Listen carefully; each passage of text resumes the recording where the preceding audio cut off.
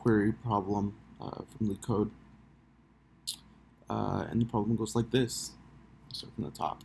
Uh, I have a table given to me, a SQL table.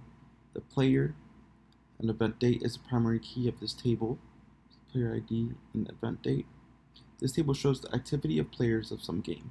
Each row is record of a player who logged in and played a number of games, possibly zero, before logging out on some day using some device. Write an SQL query that reports the first login date for each player. The query result format is in the following example. So this is the table. So if I do select from activity, that should be what I get back. And just to test it, I do I get rows, activity, player 1, player 1, player 2, player 3, player 3. And the result table is like this. So actually before we begin, one of the things that I like to show people is the order that things go to. I always have this saved. So just know that the order when you do SQL queries goes from here to here. So a lot of people like to start from a select and usually when an SQL query is represented, select is not always the first thing. So, um, and I just show that to people so people can know to think about this differently when they're trying to solve SQL problems. Uh, so one of the first things that I want is obviously write an SQL query that reports the first login date for each player. So one of the first things that I'm getting here is I want a report the first login date. I want each individual player. So these are things that we're thinking in our head. But how do we do this? Obviously, if SQL has a certain order, how do we do this? So technically, select, because let's say we want to select the first login date, our thought process is, oh, hey, let's select the first, let's go by date. But here in SQL, you should probably group first. So we can do select everything from activity and then let's group by player ID. So what it's going to do is going to select pretty much the first row of each player. So if player 1 had a million rows, we'll just select the top one. But we just want to distinct everything and have everything by each player. So if we do this, we'll have just three rows because there's only three players. If it was 50 players, then we would have 50 rows. So that's so that's pretty much once uh, select. This is probably.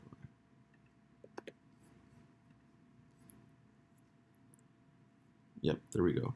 So as you can see here, we have the rows. We have row for player one. Oh, actually, here row for player one, row for player two, and row for player three.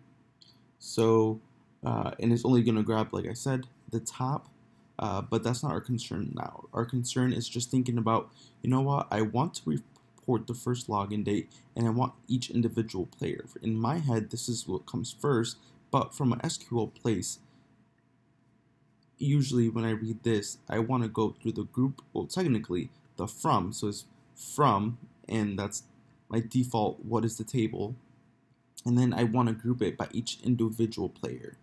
So once I have every individual player set, uh, so this is how my query has evolved, is for each individual player, how do I get the first login date?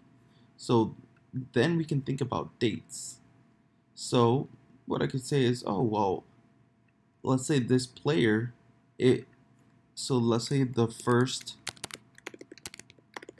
has, let's say the first player has 50 rows. Obviously, with group by, is only going to grab the top one.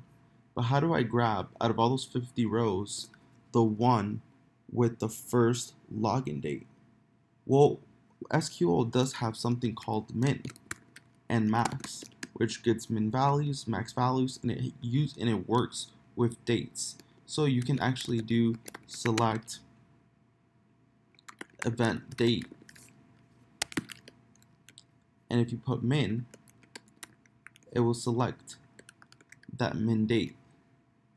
So I can select the min, which gives me the min date for each person. So I'm going to group by player ID.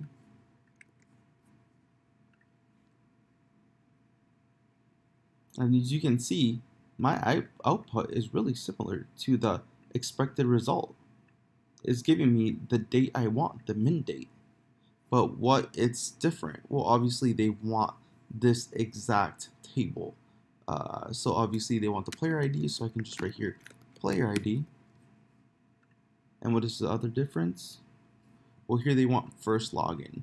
So in SQL, you can always change these names. So as login, they just, instead of event date, they just want the name first login. So you can just write as first login. And then you can submit that. And it goes through. And that is the query and how my thought process uh, came to be um, from you know using this and and my thought process of what we think and how SQL thinks. Thank you.